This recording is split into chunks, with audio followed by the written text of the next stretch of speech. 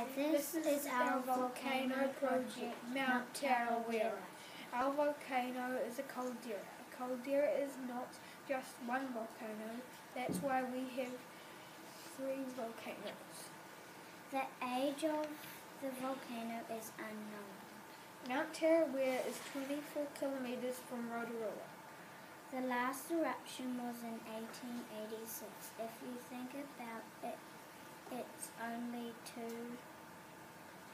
generations ago.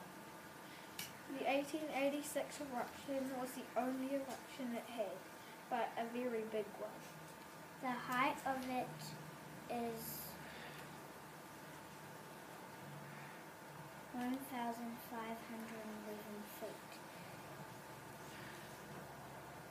Another fact is that when it erupted, it created a hot water beach.